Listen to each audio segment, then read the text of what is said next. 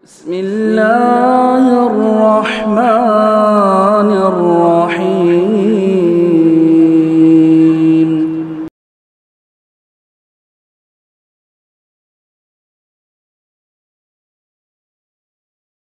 السلام عليكم ورحمة الله وبركاته.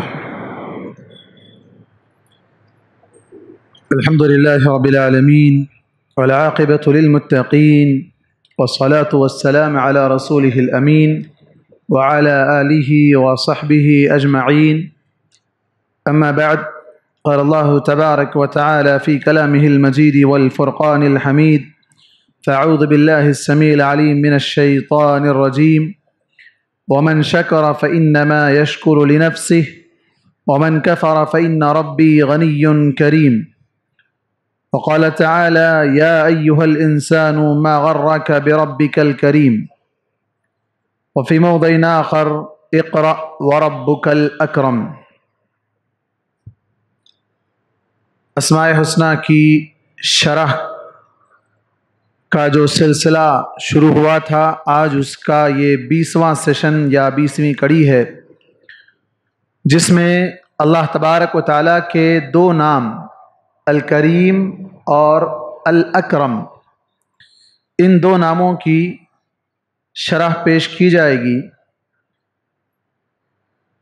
اس سے پہلے اللہ تبارک و تعالیٰ کے ناموں میں سے الغنی اس کی شرح پیش کی جا چکی ہے۔ اور غنی اور کریم دونوں میں تھوڑا سا فرق ہے۔ غنی کے تعلق سے تفصیل سے بحث ہو چکی ہے۔ اب الکریم اور اکرم الکریم قرآن مجید میں تین مقام پر آیا ہے۔ قرآن مجید میں تین بار الکریم کا لفظ آیا ہے، جو اللہ کے ساتھ آیا ہے۔ اللہ تبارک و تعالیٰ کے نام کے ساتھ آیا ہے اور الاکرم ایک جگہ پر آیا ہے۔ جیسا کہ ابھی میں نے آپ کے سامنے تلاوت کی، ومن شکر فإنما يشكر لنفسه، ومن كفر فإن ربي غني کریم کہ جس نے شکر کیا، اس نے اپنے لیے کیا۔ شکر کرنے کا فائدہ خود اس کو پہنچے گا۔ یعنی اگر کوئی آدمی اللہ تعالیٰ کا شکر بجا لاتا ہے، تو اللہ تبارک و تعالیٰ اس کے اس شکر کی وجہ سے اس کی نعمتوں میں اضافہ کرتا ہے۔ جیسے دوسرے مقام پر کہا لَإِن شَكَرْتُمْ لَأَزِيدَنَّكُمْ کہ اگر تم شکر بجا لاؤ گے، تو میں تمہیں بہت زیادہ دوں گا۔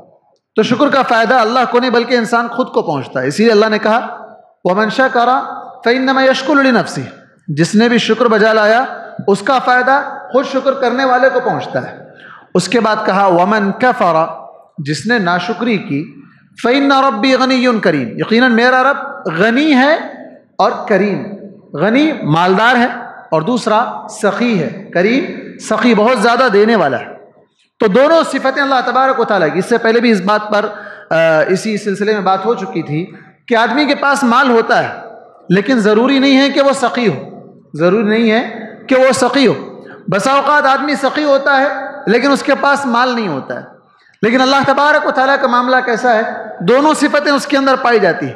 وہ غنی بھی ہے، وہ کسی کا محتاج نہیں ہے کہ کاش میرے پاس مال ہوتا تو میں خرچ کرتا۔ نہیں، بلکہ اس کے پاس، بلکہ وہ سارے خزانوں کا مالک، آسمان و زمین کا مالک، سب کچھ اس کے ہاتھ میں۔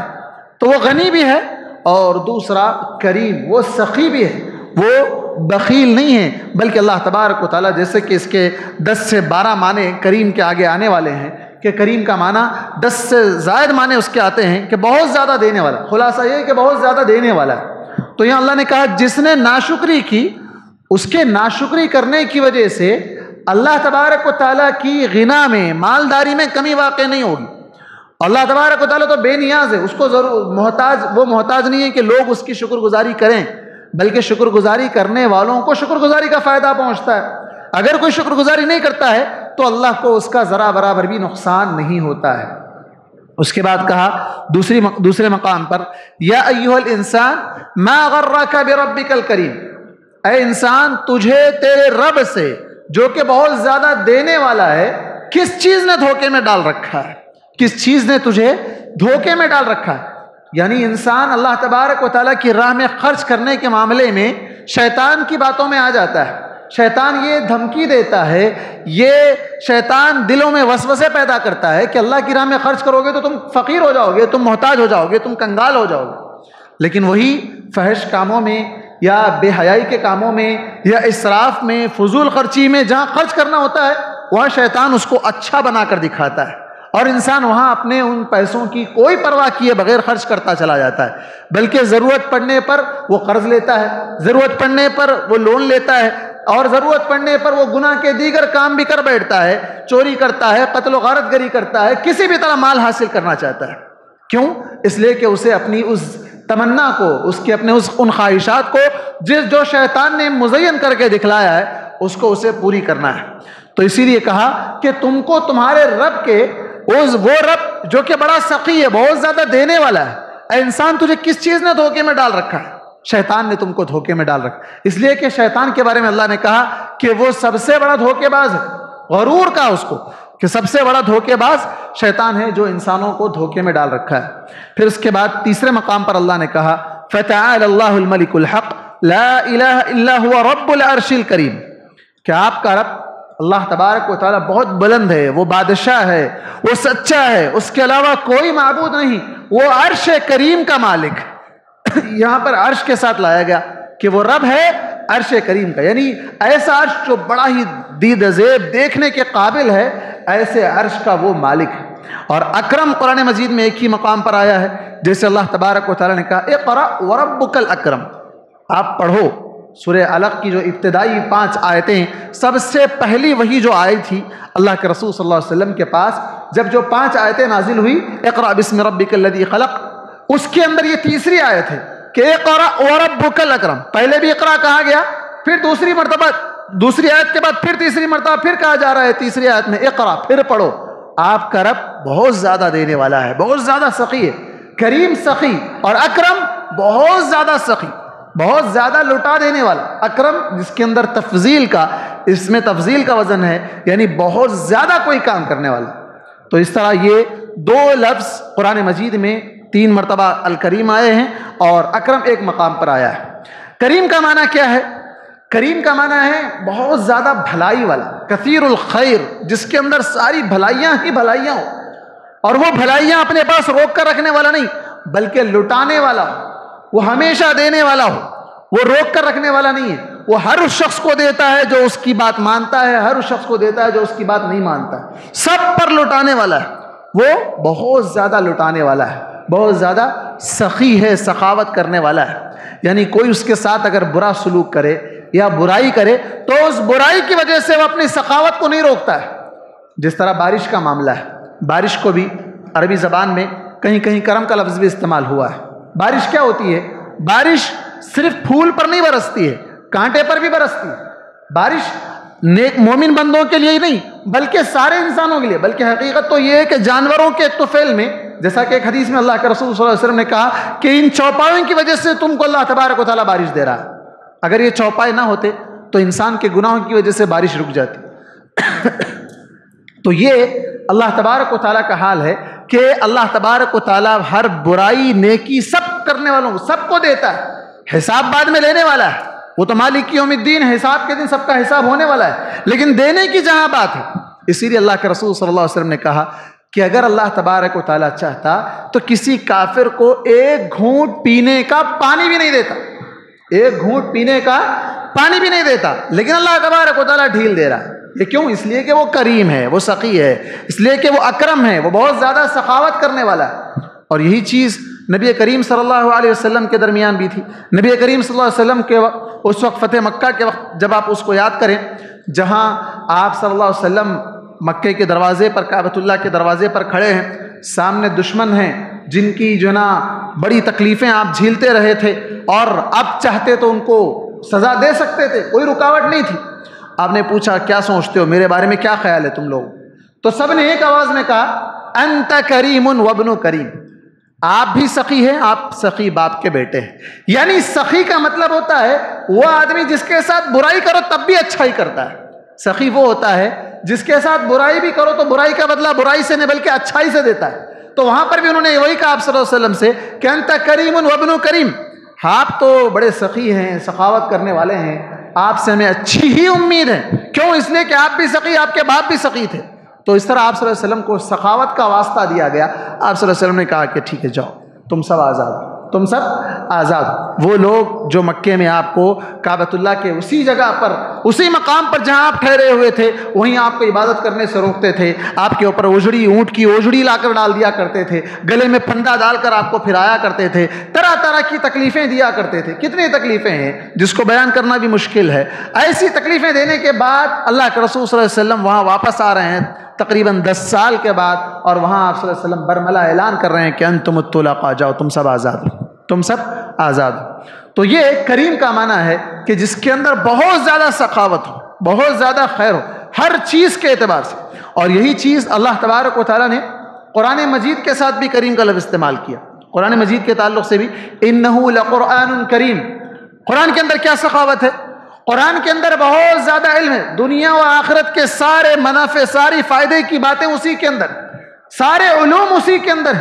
اگر انسان سائنس کی جتنی آج ٹیکنالوجی ترقی کرتی جا رہی ہے، آپ اگر دیکھیں کہ اس کے اندر جتنی باتیں، آج ہی کسی صاحب نے مجھے ایک ویڈیو بھیجا تھا جس کے اندر قرآن کی ایک آیت کے حوالے سے کہ مچھلی کی، اللہ تبارک و تعالیٰ نے مچھلی کو لائٹ والا بنایا، جس کی آنکھیں ایسی ہے کہ وہ اندھیرے میں جو ہے نا لائٹ کا کام کرتی ہیں اور بڑے ہی اچھے انداز میں وہ بالکل ایسا لگ رہا ہے جیسے کوئی ٹرین جا رہی ہے، اس کی لائٹیں کھلی ہوئی ہے تو یہ اللہ تبارک و تعالیٰ کا کرشمہ یہ اللہ تبارک و تعالیٰ کا معجزہ ہے جو چودہ سو سال پہلے بتلا دیا تھا اور آج سائنس اس کے بارے میں تحقیق کر کے بتا رہی کہ یہ قرآن میں موجود ہے۔ ایسی بے شمار چیزیں ہیں جو اللہ تبارک و تعالیٰ نے دو سمندروں کے بارے میں بتلایا ہے کہ دو سمندر ایک طرف میٹھا پانی ہے، دوسری طرف کھارا پانی ہے۔ دونوں کبھی نہیں ملتے ہیں آپس میں۔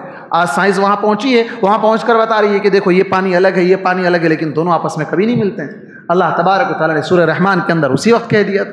تو یہ کئی ایک چیزیں ہیں۔ ایک ایک چیز پر انسان اگر غور کرتا چلا جائے، انسان اپنی باڈی کے بارے میں اگر غور کر لے، تو اللہ تبارک و تعالیٰ نے کہا وفی انفسکم افلا تبصرون؟ کیا تم اپنے آپ کے بارے میں غور نہیں کرتے۔ انسان کے اپنے ڈھانچے کے اندر اتنی سائنس ہے کہ اس کے اندر انسان اس کی تحقیق کو آج تک بھی مکمل نہیں کر سکا۔ تو وہ ساری چیزیں اللہ تبارک و تعالیٰ نے قرآن مجید کے اندر رکھی ہے اور اسی طرح اللہ تبارک و تعالیٰ نے بندوں کو جو جنت عطا کرے گا، جنت میں جو روزی عطا کرے گا، اس کے ساتھ بھی کریم کا لفظ لایا ہے۔ جیسے اللہ تبارک و تعالیٰ نے فرمایا، لہم درجات عند ربهم ومغفرت ورزق کریم۔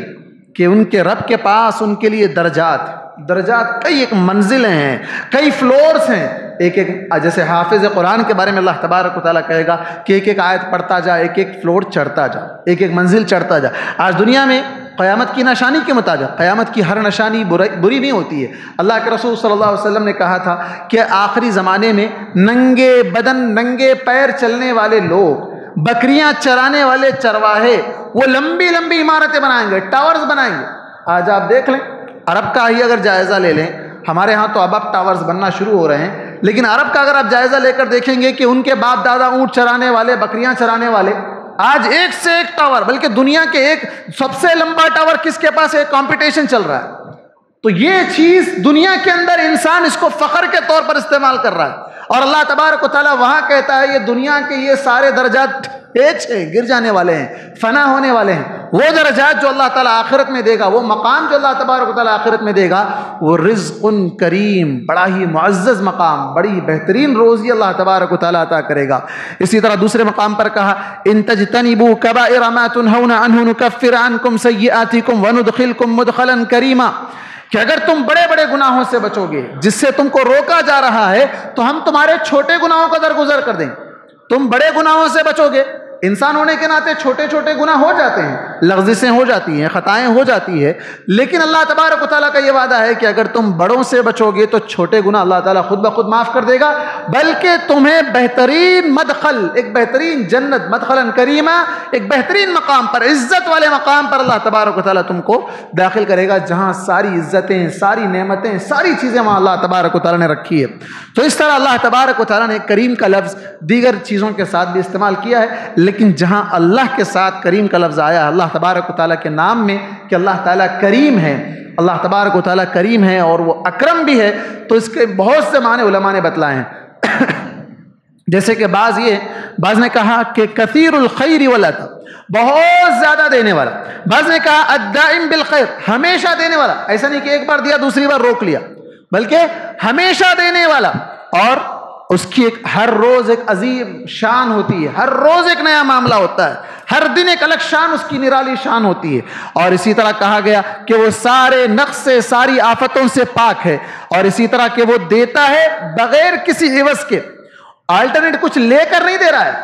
جیسے انسان، اللہ تبارک و تعالیٰ نے کہا، حدیث قدسی کے اندر ہے کہ اگر میرے سارے بندے اول سے لے کر آخر تک، سارے کے سارے بندے اطاعت گزار بن جائیں تو میری ملکیت میں اضافہ نہیں ہوتا ہے۔ سارے بندے اگر ملکیت، جیسے دنیا کے جتنے معبود ہیں، وہ سب کیا ہیں؟ لوگ ان کی عبادت کیوں کرتے ہیں؟ لوگ ان کے سامنے کیوں جھکتے ہیں؟ ان کے سامنے چڑھاوے کیوں چڑھاتے ہیں؟ کس لیے کہ ان سے ہمیں خیر ملے گا؟ یہ ان کا ایک وہم ہے۔ اور وہاں لوگ جا کر اپنے پیسے، اپنا زیور، اپنا غلہ، اپنے نظریں، نیاز، بکرے، سب کچھ ڈال کے آتے ہیں۔ کیا ان کو پہنچتا ہے؟ نہیں، بلکہ جو کاروبار چلا رہے ہیں، ان کو پہنچ رہا ہے۔ حقیقت تو یہ ہے کہ جو ان کے نام پر کاروبار چلا رہے ہیں، ان کی دنیا بن رہی ہے اور آخرت تو وہ تباہ کر رہے ہیں۔ لیکن اللہ تبارک و تعالیٰ کا کیا کوئی ایسا دربار ہے جہاں پر غلہ لگایا گیا کہ لا کر ڈالتے جاؤ، تمہیں اللہ تبارک و تعالیٰ جو ہے ہاں اللہ تبارک و تعالیٰ کو نہیں پہنچتا ہے۔ نام اللہ کا ہوتا ہے کہ اللہ فی سبیل اللہ اللہ کے نام پر، اللہ کی راہ میں خرچ کرو، اللہ تعالیٰ بڑھ کر دے گا، دگنا دے گا۔ تو کیا وہ اللہ کو پہنچتا ہے؟ اللہ تبارک و تعالیٰ کی ملکیت میں اضافہ ہوتا ہے۔ بلکہ وہ مال تو خود انسانوں میں تقسیم ہوتا ہے، جو محتاج ہیں، فقراء ہیں، مساکین ہیں۔ اللہ کی راہ میں جتنے لوگ آتے ہیں، وہ سارے انہی میں خرچ ہوتا ہے۔ اللہ کو تو نہیں پہنچتا ہے۔ تو اسی لیے کہا کہ وہ بغیر کسی عوض کے دیتا ہے، کچھ لے کر نہیں دیتا ہے۔ تمہاری عبادت کی وجہ سے تم عبادت کرو گے تو دوں گا نہیں۔ اگر ویسا ہوتا تو آج دنیا میں سارے نافرمان زیادہ ہے نافرمان زیادہ ہیں۔ لیکن اللہ تعالیٰ ان کو ہی زیادہ دے رہا ہے۔ اللہ تعالیٰ بھی انہی کو زیادہ دے رہا ہے۔ جو عبادت کر رہے ہیں، ان کے لیے کہا گیا، دنیا سجن المؤمن۔ دنیا تو مومن کے لیے قید خانہ ہے۔ دنیا تو مومن کے لیے قید خانہ ہے۔ تو عبادت کرنے والوں کے لیے یہ حال ہے۔ اور وہاں اللہ تبارک و تعالیٰ جو نافرمان ہے ان کو تو زیادہ دے رہا ہے۔ اگر یہ ہوتا کہ تم کچھ کرو تو میں کچھ دوں گا، تو پھر یہ اللہ تبارک و تعالیٰ یہاں تو بالکل بات بدل جاتی تھی۔ لیکن اللہ تعالیٰ بہت زیادہ دیتا ہے، بغیر کسی بس ہم قربانی کرتے ہیں، ابھی قربانی کا معاملہ آ رہا ہے، اسی ایک کی مثال لے لیجیے اللہ نے کہا لینا اللہ ولا دما ولا التقوا منکم۔ ہم رمضان میں روزہ رکھتے ہیں، بھوکے رہتے ہیں، صبح سے شام تک۔ کیا ہمارا جو بھوکا رہنا ہے، اس کی وجہ سے ہمارے ایک ٹائم کا کھانا بچ جانے سے نعوذ باللہ کیا اللہ تبارک و تعالیٰ کی ملکیت میں اضافہ ہوتا ہے؟ نہیں ہوتا ہے۔ ہمارے قربانیاں بکرے، گائے، اونٹ، جتنی چیزیں ذبح ہوتی ہے بقرعید میں، کیا اس کا گوشت اللہ کو پہنچتا ہے؟ کیا اس کا خون اللہ کو پہنچتا ہے؟ کون سی چیز اللہ کو پہنچتی گوشت ہم ہی کھا جاتے ہیں۔ سب کچھ ہم ہی استعمال کرتے ہیں۔ صرف نام اللہ کا ہے کہ اس کو اللہ کی نام پر قربانی کرو۔ تمہارے دلوں کا تقوی اللہ کو پہنچتا ہے۔ وہ گوشت بھی نہیں پہنچتا، وہ خون بھی نہیں پہنچتا، کوئی چیز نہیں پہنچتی۔ پہنچنے والی چیز تمہارے دلوں کا تقوی ہے۔ تو یہاں اللہ تبارک و تعالیٰ نے واضح کر دیا کہ وہ بغیر کسی عوض کے دیتا ہے۔ اسی لیے اللہ نے کہا، وما خلقت الجن والانس الا ليعبدون۔ میں نے جنوں اور انسانوں کو صرف اور صرف میری عبادت کے لیے پیدا کیا۔ میں اريد منهم من رزق۔ میں ان سے کسی روزی کا مطالبہ نہیں کرتا کہ مجھے کچھ لا کر کھلائیں، میرے نام پہ کچھ چڑھاوے چڑھائیں۔ وما اريد ان يطعمون، کہ مجھے وہ کھلائیں۔ کھلانے کا کوئی اللہ کے پاس مطالبہ نہیں ہے، بلکہ وہ یطعم ولا یطعم، وہ کھلاتا ہے، کھاتا نہیں ہے۔ وہ کھلاتا ہے، وہ تو سب کو کھلا رہا ہے، وہ کھاتا نہیں ہے۔ تو ایک چیز یہ ہو گئی کہ بغیر کسی عوض کے اللہ تبارک و تعالیٰ دیتا ہے، اور اسی طرح بغیر کسی سبب کے دیتا ہے۔ بغیر کسی سبب کے، بغیر کسی سبب کوئی وجہ نہیں ہوتی ہے۔ انسان آج ڈگریاں پڑھ لیا ہے، بہت بڑی بڑی ڈگریاں رکھا ہے، لیکن کیا ڈگریوں کی وجہ سے اس کے پاس مال ہے؟ نہیں ہے۔ کئی ڈگریاں والے ایسے ہیں جو ڈگریاں لے کر ڈھو کر پھر رہے ہیں، لیکن ان کے پاس مال نہیں ہے۔ کئی انگوٹے چھاپ ہیں جن کے پاس اللہ نے بہت کچھ دے رکھا ہے۔ تو یہ اللہ تبارک و تعالیٰ بغیر کسی سبب کے، بغیر کسی وجہ کے، بغیر کسی ریزن کے بھی اللہ تبارک و تعالیٰ دیتا ہے۔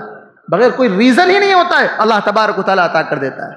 اور اسی طرح ہر چیز، ہر اس شخص کو دیتا ہے جو محتاج ہے، جو محتاج نہیں ہے، سب کو دیتا ہے۔ اللہ تبارک و تعالیٰ سب کو دیتا ہے۔ ایسا نہیں کہ مجھے مجھے کوئی چیز مل گئی تو میں یہ نہیں کہتا ہوں کہ نہیں، مجھے ابھی اس کی ضرورت نہیں ہے۔ نہیں چاہیے، واپس تو نہیں کرے۔ لیکن انسان لے لے گا اس مجھے اس کی ضرورت نہیں۔ اللہ تعالیٰ ہر ایک کو دے رہا ہے۔ ہر چیز جس کی اس کو ضرورت ہے، جس کی اس کو ضرورت نہیں ہے، سب اس کو دے رہا ہے۔ بلکہ انسان کو بسا اوقات پتہ نہیں چلتا ہے کہ کیا واقعی میری اس کی ضرورت ہے یا نہیں ہے۔ میں احتاج ہوں اللہ احتاج اور اس کے بعد کہا گیا کہ جب وہ کوئی وعدہ کرتا ہے تو وعدے کو پورا کرتا ہے۔ وعدے کو پورا کرتا ہے اور کریم ہی کے معنی میں ایک یہ بھی چیز داخل ہے کہ وہ اللہ تبارک و تعالیٰ گناہوں کو بخشنے والا ہے، بہت زیادہ گناہوں کو بخش دیتا ہے۔ جیسے کہا گیا کہ وہ بغیر سبب کے دیتا ہے، بغیر کسی سبب کے دیتا ہے، اسی طرح بغیر کسی واسطے اور وسیلے کے دیتا ہے۔ لوگ دنیا میں کیا کرتے ہیں؟ اس تک پہنچنے کے لیے واسطہ اور وسیلہ مانگتے ہیں۔ سوال یہ ہے کہ جو لوگ یہ سمجھ رہے ہیں کہ اللہ کے پاس پہنچنے کے لیے واسطہ اور وسیلہ چاہیے اور واسطے وسیلے کے ذریعے سے حاصل کرنا چاہ رہے ہیں، پھر ان لوگوں کا کیا جو اللہ کو ہی نہیں مانتے ہیں؟ جو اللہ کو ہی نہیں مانتے ہیں، ان کو اللہ تعالیٰ خوب دے رہا ہے۔ وہ کس کا واسطہ لے رہے ہیں؟ وہ کس کا وسیلہ پکڑ رہے ہیں؟ وہ نہ کسی کا واسطہ پکڑ رہے ہیں، نہ کسی کا وسیلہ پکڑ رہے ہیں، بلکہ وہ اللہ کو ہی نہیں مانتے ہیں۔ ان کو اللہ تعالیٰ دے رہا ہے، تو تم اللہ کو مانتے ہو تو ڈائریکٹ ادعونی استجب لکم، تم مجھے پکارو، میں تمہاری پکار کو سنوں گا، تمہاری دعا کو قبول کروں گا۔ اور اسی طرح اللہ تبارک و تعالیٰ دیتا بھی ہے اور تعریف بھی کرتا ہے۔ دیتا بھی ہے اور احسان نہیں جتاتا ہے، بلکہ بندے کو دے کر بندے کو خوش کرتا ہے۔ بندے کی تعریف کرتا ہے اللہ تبارک و تعالیٰ، بلکہ جب بندہ اس نعمت کی شکر گزاری کرتا ہے تو اس کو بہت زیادہ ادر و ثواب سے نوازتا ہے۔ اسی طرح اللہ تبارک و تعالیٰ مانگنے سے پہلے دیتا ہے۔ یہ بھی ایک کریم کا معنی ہے۔ مانگنے سے پہلے دیتا ہے۔ جیسے ایک حدیث کے اندر آتا ہے، صحیح مسلم کی روایت ہے۔ اللہ کے رسول صلی اللہ علیہ وسلم نے فرمایا، قیامت کے دن اللہ تبارک و تعالیٰ بندے کو بلائے گا۔ وہ بندہ جو قیامت کا منکر تھا، اللہ تبارک و تعالیٰ سے ملاقات کی امید اس کو نہیں تھی کہ وہ مرنے کے بعد اٹھایا جائے گا اور اللہ سے ملے گا۔ اللہ تعالیٰ اس سے پوچھے گا، کیا میں نے تجھے مال نہیں دیا تھا؟ کیا میں نے تجھے سرداری نہیں دی تھی؟ کیا میں نے تیری شادی نہیں کروائی تھی؟ اللہ مذہب جو شادی کرنا بھی بہت بڑی نعمت۔ کیا میں نے تیری شادی نہیں کروائی تھی؟ کیا میں نے تجھے فراقی نہیں دی تھی کہ تو سردار بن کر پھرتا تھا، خوشحال تھا؟ بندہ کہے گا، کیوں نہیں اللہ تو نے سب کچھ دیا تھا۔ سب کچھ دیا تھا، تو پھر تو مجھ سے ملنے کی امید کیوں نہیں رکھتا تھا؟ تجھے مجھ سے ملنے کی امید تھی؟ بندہ کہے گا کہ نہیں، مجھے امید نہیں تھی، تو کہا انسا کا قد انسا کا کما نہ صحیح کہ میں بھی تجھے بھول گیا، جا، آج میں بھی تجھے بھول گیا، جیسے تو نے مجھے دنیا میں بھول گیا تو اللہ تعالیٰ بغیر کسی سوال کے، بندے کو امید بھی نہیں ہے، بندہ مانتا ہی نہیں اللہ تبارک و تعالیٰ کو، پھر بھی اللہ تعالیٰ دے رہا انسان ماں کے پیٹ میں ہوتا ہے، بولنا نہیں آتا، اس کو کون غذا دے رہا ہے؟ کیا انسان مانگتا ہے اس وقت؟ بول سکتا ہے، سوال کر سکتا ہے اس وقت۔ وہاں بھی دے رہا ہے اللہ تبارک تعالیٰ۔ بچپن سے لے کر جوانی تک، ہوش، اس کے ہوش و حواس میں نہیں رہتا ہے، تمیز نہیں رہتی، اس کو اچھے برے کی، بھلے کی تمیز نہیں رہتی ہے۔ اس وقت بھی دے رہا ہے اللہ تبارک تعالیٰ۔ وہ تو مانگنا ہی نہیں جانتا، کھیل کود کی عمر کا ہوتا ہے۔ کہاں سے وہ مانگتا ہے؟ پھر بھی دے رہا ہے۔ تو یہ انسان کو مانگے بغیر بھی دیتا ہے۔ جبکہ انسان کا معاملہ کیا ہے؟ اگر کوئی انسان کسی انسان سے مانگتا ہے، تو نہیں دیتا ہے، بلکہ اللہ کا معاملہ تو یہ ہے کہ مانگے بغیر بھی دیتا ہے۔ اور اگر مانگتا ہے بندہ، تو خالی ہاتھ نہیں لوٹاتا ہے۔ اللہ تبارک و تعالیٰ، جیسا کہ اللہ کے رسول صلی اللہ علیہ وسلم نے حدیث کے اندر کہا کہ ان اللہ حی کریم، کہ اللہ تبارک و تعالیٰ حیا دار ہے۔ اللہ تبارک و تعالیٰ حیا دار ہے اور بڑا سخی ہے۔ جب بندہ اس کی طرف ہاتھ اٹھاتا ہے اور دعا مانگتا ہے، تو اللہ کو شرم آتی ہے کہ اس کے ہاتھوں کو خالی ہاتھ واپس لوٹا ہے اس کے ہاتھوں کو خالی ہاتھ واپس لوٹانے سے اللہ کو شرم آتی ہے۔ تو یہ اللہ تبارک و تعالیٰ کا معاملہ ہے کہ وہ مانگنے والے کو تو واپس لوٹاتا ہی نہیں ہے۔ نہیں مانگنے والے کو ہی دے رہا ہے تو مانگنے والے کو کیوں نہیں دے گا؟ بس کمی یہاں ہے کہ انسان مانگنے کا طریقہ نہیں جانتا ہے، مانگنے کا وقت نہیں جانتا ہے کہ کب مانگا جائے تو قبول ہوگا۔ قبولیت کے جو اوقات اللہ تبارک و تعالیٰ نے مقرر کیے ہیں، روزانہ رات کے آخری حصے میں، جمعہ کے دن اور ہر اذاں اور اقامت کے درمیان، سجدے کے درمیان، جو دعائیں یہ دعاؤں کی قبولیت کا وقت ہے۔ اس وقت نہیں مانگتا ہے اور اس کے لیے دوسروں کے پاس جا کر مانگتا ہے۔ انسان جو اللہ تبارک و تعالیٰ نے جیسے کوئی انسان اپنے پاس بھی ایک ٹائم مقرر کرتا ہے، کسی لوگوں سے ملاقات کا کہ یہ ٹائم پر مجھ سے ملنا ہے۔ دوسرے ٹائم پر اگر جاؤ تو دھتکار دیے جاؤ گے، رد کر دیے جاؤ یا سنی نہیں جائے گی، یا سنی انسنی کر دی جائے گی۔ اللہ تبارک و تعالیٰ ویسے ہر ٹائم پہ دیتا ہے، لیکن پھر بھی ایک ٹائم خاص کیا ہے۔ اللہ تعالیٰ خود وقت مقرر کیا ہے کہ اس وقت میں مانگو، اس وقت میں مانگو، اس وقت میں مانگو۔ میں دینے کے لیے تیار ہوں۔ لیکن ہم اس وقت کو خالی بیکار ضائع کرتے ہیں اور اس وقت میں ہم اپنی غفلت میں پڑے رہتے ہیں، جس کی وجہ سے ہم اللہ کو چھوڑ کر غیروں کے در پر جا کر گڑ گڑاتے ہیں، طواف کرتے ہیں، نظر و نیاز مانتے ہیں، بکرے ذبح کرتے ہیں۔ نہ جانے کیا کیا کرتے ہیں۔ تعجب ہوتا ہے ان لوگوں پر جو ایسوں کے سامنے جا کر بکرے چڑھاتے ہیں، بکرے، مرغیاں، نہ جانے کوے کیا کیا لوگ چڑھا کر آتے ہیں۔ ان کے اپنے حالات خراب ہوتے ہیں، قرضہ لے کر، سود لے کر، فلاں لے کر، لے آ کر وہاں چڑھاتے ہیں۔ یہ سمجھ کر کہ ہمیں، ہمارے مال میں برکت ہوگی۔ مال میں کیسے برکت ہوگی جو اللہ کے نام پہ نہ دیا گیا ہو؟ جو اللہ کے لیے نہ کیا گیا ہو؟ جو عمل غیر اللہ کے لیے کیا گیا ہو؟ اور اسی طرح ہر چھوٹی بڑی، ہر چھوٹی بڑی، ایسا نہیں کہ اللہ تبارک تعالیٰ بہت بڑا ہے، اب اس کے سامنے چھوٹا سا سوال کیسے کیا جائے؟ وہ کریم ہے سخی ہے، جیسے دنیا میں بھی کوئی آدمی بڑا ہوتا ہے تو اس کے پاس اتنا چھوٹا مسئلہ لے کر اس کے پاس کیسے جائیں گے؟ نہیں، بلکہ اللہ کے رسول صلی اللہ علیہ وسلم نے کہا کہ اگر تمہارے پیر کے چپل کی پٹی بھی ٹوٹ جائے، وہ اللہ سے مانگو۔ چپل کی پٹی بھی ٹوٹ جائے تو اللہ سے مانگو۔ چھوٹی سی چیز ہے، ادنا سی چیز ہے۔ یہ اللہ سے کیسے مانگیں گے نہیں؟ مطلب یہ ہے کہ ہر چھوٹی چیز بھی اللہ سے مانگی جائے۔ وہ کریم ہے سخی ہے، وہ چھوٹے، بڑے، سارے مسئلے حل کرنے والا ہے۔ ایسا نہیں کہ وہ بڑا ہے تو صرف بڑے مسئلوں کو ہی حل کرنے والا ہے۔ ہر چھوٹے، بڑے، سارے مسئلوں کو اللہ تبارک و تعالیٰ حل کرنے والا ہے۔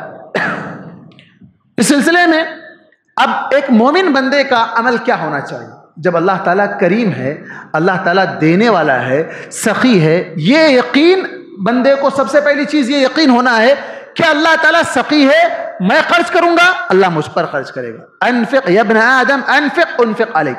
اے آدم کے بیٹے، تو خرچ کر، میں تجھ پر خرچ کروں گا۔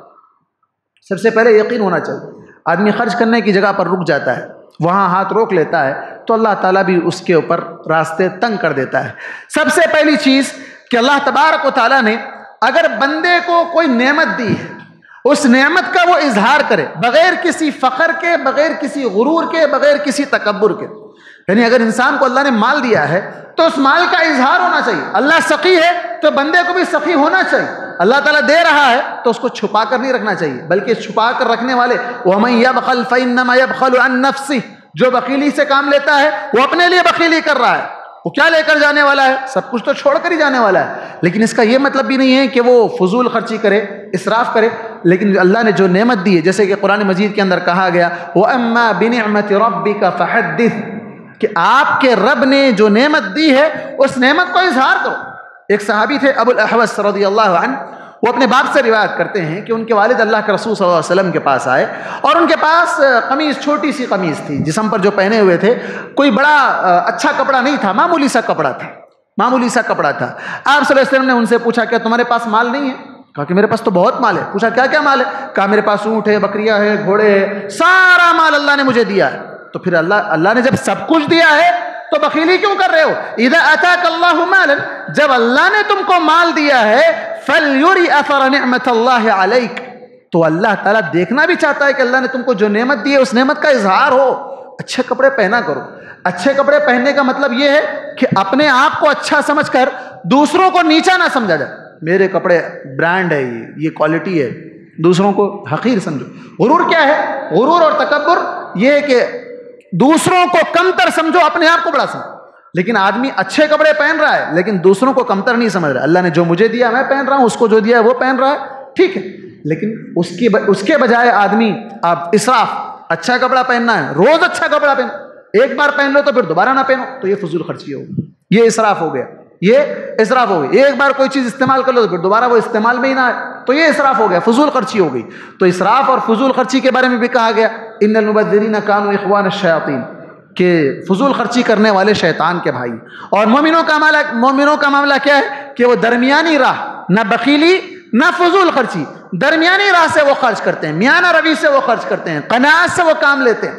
تو اللہ تبارک و تعالیٰ نے اگر نعمت دی ہے تو اس نعمت کا اظہار بھی کرو۔ چھپا چھپا کر نہ رکھو۔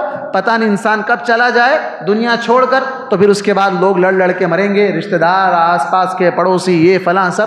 آج جتنی حالات ہے یہی سب ہے انسان دنیا میں رہے تک نہ خود کھاتا ہے، نہ کھلاتا ہے، بلکہ اس کو جمع جمع کر کر کے رکھتا ہے۔ اس کے بعد اس کی اولاد، اس کے رشتہ دار، اس میں کورٹ، کچہری میں وہ معاملہ پھر حکومتوں کے ہی حوالے ہو جاتا ہے۔ بلکہ خود اس کے اپنے رشتہ دار اور حقداروں کو بھی حق نہیں ملتا۔ ہے جو اس کے اندر زیادہ پاور والا ہوتا ہے، جو اپنی زبان زیادہ چلاتا ہے، وہ اس کو حاصل کرنے کی نئے نئے طریقے اور نئے نئے پلاننگ کے ذریعے سے، جھوٹ کے ذریعے سے لوٹ لیتا ہے۔ تو یہ پھر کیا فائدہ ہوا ایسا مال کمانے کا؟ جو خود کے بھی کام نہ آئے، بعد والوں کے لیے بھی کام نہ آئے۔ نہ دنیا میں کام آیا، نہ آخرت میں کام آیا۔ نہ دنیا میں بعض لوگ ہوتے ہیں جو کماتے ہیں، ٹھیک ہے، دنیا میں خرچ کر لیتے ہیں۔ آخرت کے لیے نہیں کرتے ہیں، لیکن دنیا کے لیے تو کر لیتے ہیں۔ بعض بخیل ایسے ہوتے ہیں، نہ دنیا کے لیے، نہ آخرت کے لیے۔ بس جمع جمع جمع جمع جمع کرتے ہی چلے جاؤ۔ تو پھر کیا فائدہ؟ اللہ نے جب دیا ہے، اسی لیے آپ صلی اللہ علیہ وسلم نے ان سے پوچھا تھا کہ کیا تمہیں اللہ نے مال نہیں دیا؟ تو کہا کہ مال تو بہت ہے میرے پاس، اونٹ بھی ہے، بکریاں بھی ہے، گھوڑے بھی ہے، سب کچھ ہے۔ تو پھر دکھاؤ نا، کیوں نہیں دکھاتے؟ ہو چھپا کیوں رہے ہو؟ اس کو ظاہر کرو۔ اللہ تبارک تعالیٰ نے اگر نعمت دی ہے تو اس کو ظاہر کرو۔ اور اسی طرح جب اللہ تبارک و تعالیٰ کریم ہے تو وہ لوگوں کو بھی سخاوت کا درس دیتا ہے کہ اللہ تبارک و تعالیٰ ہمیں لوگوں کے ساتھ حسن سلوک جیسا کہ اللہ کے رسول صلی اللہ علیہ وسلم نے کہا کہ تمہارے پاس کوئی آدمی، شریف آدمی آئے تو اس کی عزت کرو، اس کا احترام کرو، اس کا مقام جانو۔ قوم میں بڑا بڑا معزز آدمی ہے، کوئی معزز آدمی ہے تو اس کا احترام کرو۔ اور اسی طرح آپ صلی اللہ علیہ وسلم نے کہا کہ ان یعلم اللہ من کان یؤمن باللہ والیوم الاخر فلیکرم ضیفہ۔ ایک اور روایت میں فلیکرم جارہ۔ یکرم، کریم صحیح ہے۔ فلیکرم، کریم۔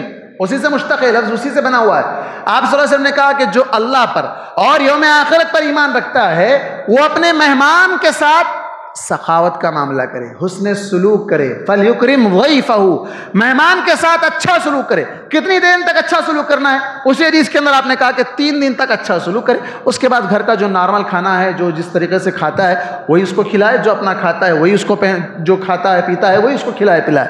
تو یہاں آپ صلی اللہ علیہ وسلم نے کہا فلیکرم فلیکرم کریم کا لفظ ہے کہ اللہ تبارک تعالیٰ کریم ہے تو تمہیں بھی کریم ہونا چاہیے۔ بالخصوص مہمانوں کے معاملے میں، مہمان نوازی کے معاملے میں مسلمان بخیل نہیں ہونا چاہیے۔ عام طور پر آج یہ سارے سلسلے ختم ہی ہوتے جاتے ہیں، بلکہ رشتہ داریاں ختم ہو رہی ہیں۔ کوئی آدمی کسی کے پاس مہمان بننے یا مہمان بنانے، اس کے بارے میں آج بہت بہت اس کے بارے میں کیا کہا جائے، کتنا بھی کہا جائے، کم ہے، نہ کسی کے پاس وقت ہے، نہ کسی کے پاس وہ ساری محبتیں ہیں، یہ ساری چیزیں ختم ہوتی جا رہی ہیں۔ اس کے بعد آپ نے کہا منکان فل یکرم جا جو اللہ پر اور یوم آخرت پر ایمان رکھتا ہے، اپنے پڑوسی کے ساتھ اس نے سلوک کرے۔ فل یکرم جا رہو اپنے پڑوسی کے ساتھ۔ آج ہمارا تو حال یہ کہ ہم پڑوسی کو جانتے ہی نہیں ہیں۔ ہم پڑوسی کو جانتے ہی نہیں، ہمارا پڑوسی کون؟ ہمارا پڑوسی کون ہے، ہم کو پتہ ہی نہیں چلتا ہے۔ تو آپ صلی اللہ علیہ وسلم نے کہا فل یکرم جا رہا تو دوسرا فائد، دوسرا جو ہمیں درس ملتا ہے کہ ہمیں ایمان کا تقاضا قرار دیا گیا اگر ایمان ہے اللہ پر اور یوم آخرت پر، تو پھر یہ کام کرو۔ اگر اس کا مطلب یہ ہوا، اگر کوئی نہیں کرتا ہے، تو اس کے ایمان کا جائزہ لینا پڑے گا کہ کیا اس کے اندر ایمان ہے یا نہیں ہے، یا پھر اسی اعتبار سے کتنا ایمان اس کا کمزور پڑ گیا ہے۔ اور اس کے بعد تیسری چیز یہ معلوم ہوتی ہے کہ جب اللہ تبارک و تعالیٰ انسان کو نعمت دیتا ہے، تو نعمت بھی ایک آزمائش ہے۔ نعمت بھی ایک آزمائش انسان یہ سمجھتا ہے کہ اللہ تعالیٰ اسے کسی مصیبت میں مبتلا کرے تو ہی آزمائش۔ نہیں، بلکہ نعمت بھی آزمائش۔ نعمت بھی آزمائش۔ جیسے اللہ تبارک تعالیٰ نے کہا، فَأَمَّا الْإِنسَانُ إِذَا مَبْتَلَاهُ رَبُّهُ۔ رہا انسان جب اس کا رب اسے آزماتا ہے، فَأَكْرَمَهُ، أَكْرَمَهُ أَكْرَمَهُ کریم سے اسے بہت زیادہ دیتا ہے۔ وَنَعَانَهُ، نعمتیں دیتا ہے، بہت زیادہ نعمتیں دیتا ہے۔ فیقول ربی اکرمن تو بندہ کہتا ہے، اللہ نے میرا خیال رکھا، میرا، میرے ساتھ سخاوت کا معاملہ کیا، مجھے عزت بخشی اللہ تبارک و تعالیٰ۔ اور جب اللہ تبارک و تعالیٰ اس انسان پر آزمائش اس طرح لیتا ہے کہ اس کی روزی تنگ کر دیتا ہے فیقول ربی احانن تو بندہ کہتا ہے کہ میرے رب نے مجھے مجھے رسوا کر دیا، مجھے ذلیل کر دیا۔ تو دیکھیے، دونوں معاملے آزمائش سے تعلق رکھتے نعمت دے کر یہ بھی آزمائش۔ اور اگر نعمت کو چھین لے تو یہ بھی آزمائش۔ اگر اللہ نے نعمت دی ہے تو انسان کو جان لینا چاہیے کہ یہ اللہ کی جو سخاوت مجھ پر برس رہی ہے، یہ اللہ تبارک و تعالیٰ کی جو نعمتیں مجھ پر برس رہی ہے، تو یہ نعمتیں دے کر اللہ تعالیٰ مجھے آزما رہا ہے۔ ان نعمتوں کا میں کہاں تک حق ادا کر رہا ہوں؟ تو انسان کے لیے نعمت بھی ایک آزمائش ہے۔ جیسے کہا جاتا ہے ہمارے پاس کہ اللہ تعالیٰ کسی کو دے کر آزماتا ہے، کسی کو چھین کر آزماتا ہے، کسی کو نہیں دے کر آزماتا ہے۔ تو یہ دے کر آزمانا یہی ہے کہ اللہ تعالیٰ نعمتیں دے کر آزما رہا ہے۔ اور چوتھی چیز، جیسا کہ وہ حدیث میں نے کہا، صحیح مسلم کی روایت کی کہ اللہ تبارک و تعالیٰ نے اگر دیا ہے تو اس پر آخرت پر ایمان میں اضافہ ہونا چاہیے۔ اللہ سے ملاقات کی امید بڑھنا چاہیے، گھٹنا نہیں چاہیے۔ اللہ نے اگر نعمت دی ہے تو مجھے اللہ تعالیٰ پوچھنے والا ہے اس نعمت کے تعلق سے۔ مجھے اللہ کے سامنے کھڑا ہونا ہے۔ اللہ کے سامنے مجھے جواب دینا ہے، اس کے سامنے حاضر ہونا ہے۔ اگر اللہ نے مجھے دیا ہے تو پوچھنے والا بھی ہے۔ اور پوچھے گا کب میں سامنے جاؤں گا تب تو پوچھے گا۔ اور اللہ تعالیٰ کے سامنے تو جانا ہے ہی۔ اس سے تو کوئی بچنے والا نہیں ہے۔ وہاں تو اللہ تبارک و تعالیٰ ضرور حساب لینے والا ہے۔ تو وہاں اللہ تبارک و تعالیٰ اس بندے سے جیسے کہا کہ تجھے مال دیا تھا، تیری شادی کروایا تھا، تجھے بہت زیادہ سخاوت کیا تھا تجھ پر، ساری چیزیں تجھے دی تھی، تجھے سردار بنایا تھا۔ تو نے کیا کیا؟ کیا تجھے امید تھی مجھ سے ملنے کی؟ بندہ کہے گا کہ نہیں، میں یہ امید ہی نہیں رکھتا تھا کہ میں تجھ سے ملنے والا ہوں۔ جا، میں بھی تجھے بھول گیا، جیسا تو مجھے بھول گیا تھا۔ نعمتیں پا کر انسان اللہ کو بھول جاتا ہے۔ نعمتیں پا کر انسان اللہ کو بھول جاتا ہے۔ جب نعمتیں چھن جاتی ہے تب اسے احساس ہوتا ہے۔ یہ اللہ تبارک و تعالیٰ نے انسان کو کیا کیا؟ کسی بھی نعمت کی قدر کب ہوتی ہے؟ جب تک رہی، جب تک نہیں ہوتی۔ نعمت کے جانے کے بعد، چھن جانے کے بعد ہوتی ہے۔ دنیا میں ہر چیز کی قیمت پہلے لگائی جاتی ہے۔ لیکن نعمت کی قیمت بعد میں ہوتی ہے۔ نعمت کی قیمت بعد میں معلوم ہوتی ہے کہ کیا نعمت تھی میرے پاس۔ جیسے کوئی آدمی صحت مند ہے، صرف صحت ہی لے لو، صحت بہت بڑی نعمت مال نہیں ہے، کوئی بات نہیں ہے، لیکن صحت بھی بہت بڑی نعمت ہے۔ اچھا خاصا چلتا پھرتا، صحت مند ہے، آنکھ اچھے، کان اچھے، جسم اچھا ہے، کوئی بیماری نہیں، شوگر نہیں، بلڈ پریشر نہیں، بی پی نہیں، کچھ بھی نہیں ہے۔ اچھا خاصا صحت مند ہے، احساس نہیں ہوتا ہے۔ جب بیماری میں مبتلا ہوتا ہے، ارے میں اچھا تھا پہلے۔ جب اچھا تھا، اللہ نے مجھے وہ نہیں دیا، اللہ نے مجھے یہ نہیں دیا، میرے پاس یہ نہیں ہے، فلاں کے پاس وہ ہے، فلاں کے پاس یہ جب تھا، جب صحت تھی، اس نعمت کی قدر نہیں ہوئی۔ صحت جانے کے بعد اس کی نعمت کی قدر ہوگی۔ تو اس طرح اللہ تبارک تعالیٰ نے اگر نعمت دی ہے، تو اس کی قدر کرتے ہوئے آخرت کا ذہن میں رکھتے ہوئے کہ اللہ کے پاس مجھے اس کا حساب دینا ہے۔ تو اس کے لیے انسان کو اللہ سے ملاقات کی امید رکھنی چاہیے۔ اور اسی طرح پانچویں چیز، کہ اچھے اخلاق۔ کریم کے ایک معنی میں یہ بھی ہے کہ اعلیٰ اخلاق والا، اس کے کیریکٹر اچھے ہو اس کے اخلاق اچھے ہوں۔ اللہ کے رسول صلی اللہ علیہ وسلم نے کہا، ان اللہ کریم یحب الکرم ویحب معالی الاخلاق ویکرہ فسفاسہا یا صفصافیہا کہا کہ اللہ تبارک و تعالیٰ کریم ہے، وہ کرم کو پسند کرتا ہے یعنی سخی ہے تو سخاوت کو پسند کرتا ہے، اور اسی کے اندر آپ نے کہا کہ وہ اچھے اخلاق والوں کو پسند کرتا ہے۔ کریم جیسا کہ اللہ کے رسول صلی اللہ علیہ وسلم کے بارے میں کہا مکے والوں نے کہ آپ کریم ہیں، آپ کریم کے بیٹے ہیں۔ تو اسی طرح کریم کا معنی یہ ہے کہ ایک مومن کو اچھے اخلاق والا ہونا چاہیے۔ اس کے اخلاق سے، اس کے اچھے اخلاق اللہ تبارک و تعالیٰ کے پاس کل قیامت کے دن ترازو میں سب سے وزنی عمل اچھے اخلاق۔ اس سے بڑا عمل کچھ نہیں، نماز، روزے، زکوٰۃ تحجد سب اس کے سامنے کم۔ ایک اچھے اخلاق والا نماز رات میں اٹھ کر تحجد پڑھنے والے کا ثواب پا لیتا ہے۔ دن بھر روزہ رکھ کر کوئی آدمی جتنا ثواب پاتا ہے، اس سے کہیں زیادہ ثواب ایک اچھے اخلاق والا پا لیتا ہے۔ تو اچھے اخلاق بیسٹ کیریکٹر اچھے سے اچھے کیریکٹر اپنا لے۔ تو یہ کریم کا ایک معنی ہے۔ اور اسی طرح آخری معنی یہ ہے کہ انسان کبھی بھی اللہ تبارک و تعالیٰ کے معاملے میں یہ نہ سوچے کہ اللہ تبارک و تعالیٰ مجھے نہیں دیکھ رہا ہے۔ اللہ تبارک و تعالیٰ کو میں کچھ بھی کر لوں تو اللہ تعالیٰ مجھے نہیں دیکھ رہا ہے۔ یہ نہ سمجھے۔ کیوں؟ کہ کریم کے اندر ایک معنی ہے عزت دینا۔ کریم عزت دار آدمی کو کہا جاتا ہے۔ کریم عزت سے مشتق ہے۔ تو اس کا مطلب یہ ہوا کہ اللہ تبارک و تعالیٰ اگر کسی کو ذلیل کر دے تو اسے کوئی عزت نہیں دے سکتا۔ جیسے اللہ کے رسول اللہ تبارک تعالیٰ نے فرمایا، وَمَن يُهِنِ اللَّهِ فَمَا لَهُ مِن مُكْرِمٍ۔ اگر اللہ تعالیٰ کسی کو رسوا کر دے، ذلیل کر دے، تو پھر اسے عزت دینے والا کون ہے؟ مکرم۔ کریم ہی سے، اسے عزت دینے والا کون ہے؟ تو انسان اللہ کے معاملے میں یہ نہ سمجھے کہ میں کچھ بھی کروں، چلے گا، دنیا کو دھوکہ دوں، اللہ کو دھوکہ دوں، فلاں کو دھوکہ دوں، چلے گا نہیں، بلکہ انسان یہ اپنے آپ کو دھوکہ دے رہا ہے۔ انسان کو چاہیے کہ اس معاملے میں اللہ کی گرفت سے اپنے آپ کو بچانے کے لیے ہمیشہ ڈرتا رہے اور جتنی باتیں آج بتائی گئی، سخاوت کے معاملے میں ہو، اعلیٰ اخلاق کے معاملے میں ہو، یا اللہ سے ڈرنے کے معاملے میں ہو، یا پڑوسی کے ساتھ اس نے سلوک، یا مہمان کے ساتھ اس نے سلوک، یہ ساری چیزیں کریم کے معنی سے مشتق ہیں۔ ہمیں اللہ تبارک تعالیٰ جب کریم ہے ہمارا ایمان ہے اللہ تبارک تعالیٰ پر، تو ہمیں بھی کریم بننا چاہیے، ہمیں بھی سخی بننا چاہیے، ہمیں بھی عزت والے بننا چاہیے، ہمیں بھی شریف بننا چاہیے اور چاہے ہمارے ساتھ کوئی جیسا بھی سلوک کریں، ہم اس کے ساتھ اچھا سلوک کرنے کی کوشش کرنی چاہیے۔ انسان ہے انسان ہونے کے ناطے، انسان کے جذبات سے کبھی کبھی برائی کا بدلہ برائی سے دینے کی تو اجازت دی گئی ہے۔ اللہ تبارک و تعالیٰ نے برائی کا بدلہ برائی سے دینے کی اجازت تو ضرور دیا ہے، لیکن وہیں اس کے بعد کہا ہے کہ اگر تم معاف کر دو تو یہ بہت بڑی بات ہے۔ معاف کر دو۔ تو یہ بہت بڑی بات ہے، سخاوت کی بات ہے یہ۔ جیسا کہ اللہ کے رسول صلی اللہ علیہ وسلم نے معاف کر دیا تھا فتح مکہ کے موقع پر۔ تو بالکل اسی طرح انسان کے دل بھی اسی طرح کریم اپنے آپ کو بنانا چاہیے۔ اللہ تبارک و تعالیٰ سے دعا ہے کہ اللہ تبارک و تعالیٰ ہمیں اس اسم سے اللہ تبارک و تعالیٰ کے جو معنی مستمت ہوئے ہیں، ان تمام معنوں پر یقین و ایمان رکھتے ہوئے اسی سے لو لگانے، اسی سے مانگنے، اور جس طرح ہم نے جانا کہ وہ دینے والا ہے، تو ہم بھی دینے والے بنے اللہ تبارک و تعالیٰ ہمیں دینے والا بنائے، اور اللہ تبارک و تعالیٰ ہمارے سارے مسائل کو حل فرمائے۔ ہر قسم کے شر سے، ہر قسم ہر قسم کے فتنوں سے اللہ تبارک و تعالیٰ ہماری حفاظت فرمائے۔ آمین۔ و آخر دعوانا ان الحمد للہ رب العالمین۔